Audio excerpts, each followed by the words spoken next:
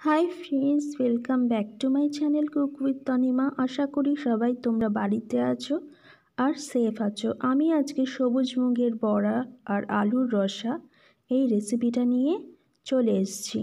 তাহলে চলো শুরু করে দিই। এখানে আমি সবুজ মুগ ডালকে ওভারনাইট সোক করে রেখেছিলাম। সোক করার আগে কিন্তু সবুজ মুগ ডালটাকে অন্তত তিন থেকে চারবার ভালো করে জল দিয়ে ধুয়ে নিতে হবে।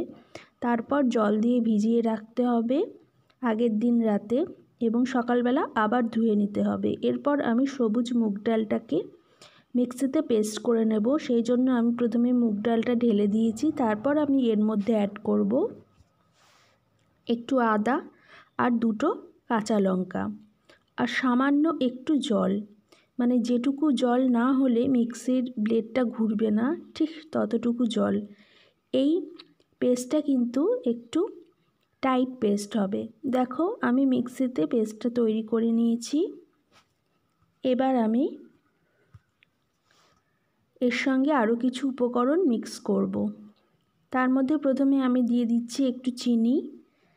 সামান্য চিনি দিতে হবে, খুব বেশি চিনি দিতে হবে না। তোমরা চাইলে চিনিটা স্কিপও করতে পারো। তারপর আমি এর মধ্যে দিয়ে দিলাম হিং, কাশ্মীরি রেড চিলি পাউডার। সামান্য একটু নুন। হিং কিন্তু আমাদের ইমিউনিটি পাওয়ারকে অনেকটাই বুস্ট আপ করে। এরপর আমি এর মধ্যে দিয়ে দিলাম একটু কেটে রাখা পেঁয়াজ। আর আমি দিয়ে দেব একটা ফ্যাটানো ডিম। ডিমটা কিন্তু বাইন্ডিংয়ের জন্য। এছাড়াও আমি আরও একটা উপকরণ দেব। তোমরা ভিডিওটা দেখতে থাকো। আমার ভিডিওটা কিন্তু তোমরা ফুল ওয়াচ করবে। তাহলে রেসিপিটা ঠিক করে শিখতে পারবে। এরপরে আমি মিশিয়ে দেব একটু বেসন। বেসন দিয়ে ভালো করে এটাকে মিক্স করতে হবে। আমি যতটা বেসন দিয়েছি, এর থেকে বেশি বেসনও লাগতে পারে, সেটা আমি মেশাতে মেশাতে বুঝতে পারব। আমার মনে হচ্ছে আরেকটু বেসন লাগবে, সেই জন্য আমি আরও একটু বেসন অ্যাড করে দেব। বাড়িতে যদি তোমাদের বেসন না থাকে, তবে তোমরা কর্নফ্লাওয়ার বা সামান্য একটু ময়দাও মেশাতে পারো। আমার আরেকটু বেসন লাগবে, তাই আমি আরেকটু বেসন দিয়ে দিলাম। এবার আমি হাত লাগালাম। হাত ছাড়া ঠিক মাখাটা হচ্ছিল না। হাত দিয়ে ভালো করে এই মাখাটা তো, মাখতে হবে। দেখো, আমার মাখা কমপ্লিট হয়ে গেছে।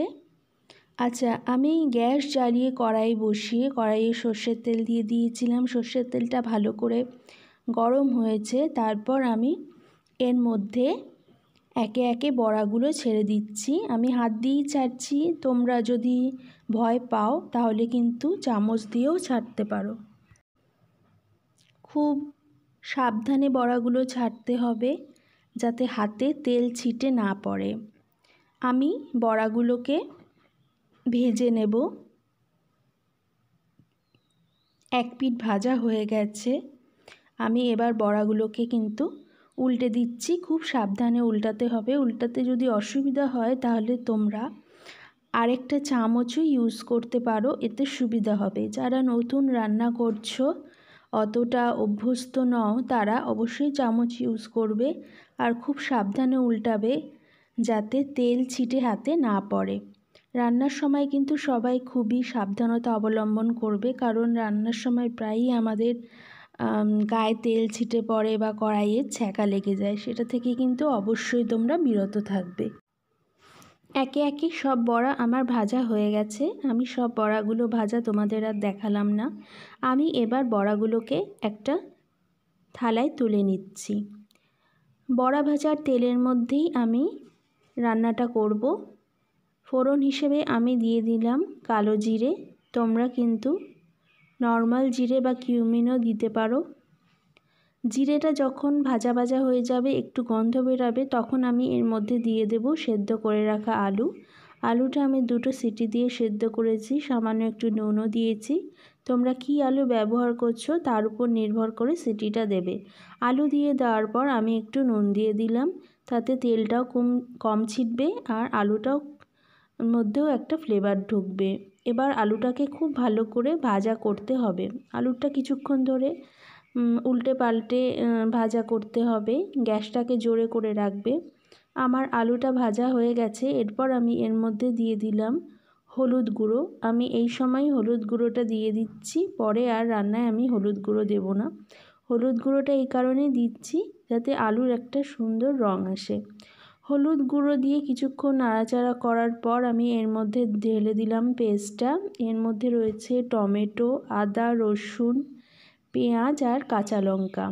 আমি পরিমাণ কিছু বলি না। তোমরা যতটা তরকারি রান্না করবে বা তোমাদের বাড়িতে যতজন সদস্য আছে সেই অনুযায়ী পরিমাণ তোমরা নিজেরাই ঠিক করবে। আচ্ছা এই পেস্টটা দিয়ে ভালো করে কষাতে হবে যাতে এর র গন্ধটা বা কাঁচা গন্ধটা চলে যায়। ভালো করে নাড়াচাড়া করে এটাকে ভাজা ভাজা করতে হবে। এই ফাঁকে আমি তোমাদের সঙ্গে কিছু কথা বলে নিই। আমার চ্যানেলটা যারা সাবস্ক্রাইব করেছ তাদেরকে অসংখ্য ধন্যবাদ। আর যারা এখনও করনি তারা প্লিজ করো। আচ্ছা এবার আমি গুঁড়ো মশলা দিচ্ছি। গুঁড়ো মশলার মধ্যে প্রথমেই আমি ভাজা মশলা দিয়ে দিলাম। ভাজা মশলার মধ্যে রয়েছে জিরে, ধনে আর শুকনো লঙ্কা। এই তিনটেকে রোস্ট করে আমি মিক্সিতে পেস্ট করে নিয়েছি। পেস্ট নয়, আমি গুঁড়ো করে নিয়েছি। এরপর আমি দিয়ে দিলাম কাশ্মীরি রেড চিলি পাউডার তারপর আমি দিয়ে দিলাম সামান্য গরম মশলা। সব মশলাগুলো দিয়ে খুব ভালো করে নাড়াচাড়া করে আমি কষাবো।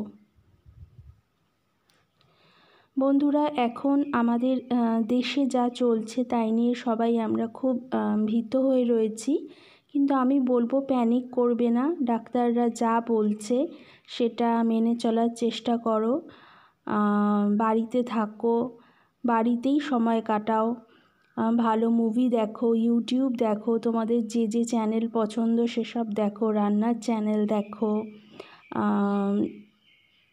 নিজের ফ্যামিলির লোকের সঙ্গে সুন্দর সময় কাটাও। দেখবে ঠিক দিনগুলো কেটে যাচ্ছে। কিন্তু বাইরে বেরিও না। আর যদি নিতান্তই বাইরে বেরোতে হয়, তাহলে অবশ্যই মাস্ক ব্যবহার করবে। আর মানে যত তাড়াতাড়ি বাড়িতে ফিরে আসা সম্ভব, সেটা চেষ্টা করবে। আচ্ছা এবার আমার মশলাটা ভালো করে কষানো হয়ে গেছে। এরপর আমি এর মধ্যে দিয়ে দেব আরেকটা উপকরণ। তোমরা ভিডিওটা একদম লাস্ট পর্যন্ত দেখবে, তাহলে রান্নাটা ঠিক করে শিখতে পারবে। সেটা হচ্ছে টক দই।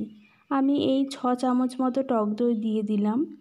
দইটা খুবই টক ছিল, সেই জন্য বেশি দিলাম না। তাহলে তরকারিটা বেশি টক হয়ে যাবে। টক দইটা দেওয়ার পর আমি এটাকে ভালো করে মিক্স করব।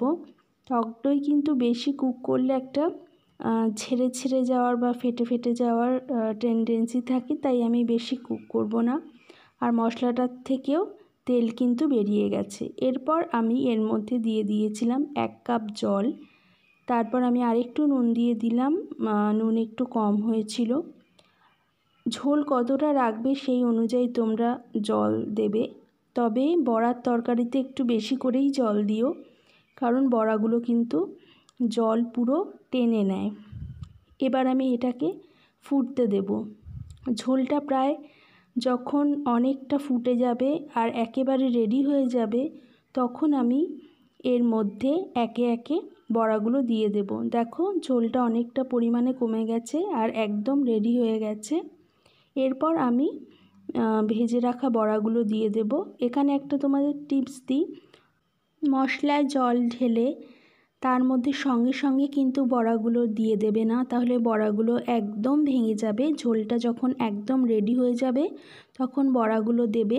ভালো করে একটু নাড়াচাড়া করে ডুবিয়ে ডুবিয়ে দেবে, এপাশ ওপাশ করে দেবে। দেখো, আমি সব বড়াগুলো দিয়ে দিয়েছি। আর বড়াগুলো ঝোলের মধ্যে খুব ভালো করে আমি ডুবিয়ে ডুবিয়ে দিচ্ছি। এই সময় কিন্তু গ্যাসটাকে একদম ফুল করে রাখবে। ভালো করে সুন্দর করে নাড়াচাড়া করে এবার আমি গ্যাসটা বন্ধ করে দেব আর বেশি ফোটাবো না। বড়া দিয়ে যদি বেশি ফোটাও তাহলে বড়াগুলো ভেঙে যাওয়ার টেন্ডেন্সি আছে। এরপর আমি এটাকে একটু ঢাকা দিয়ে দেব।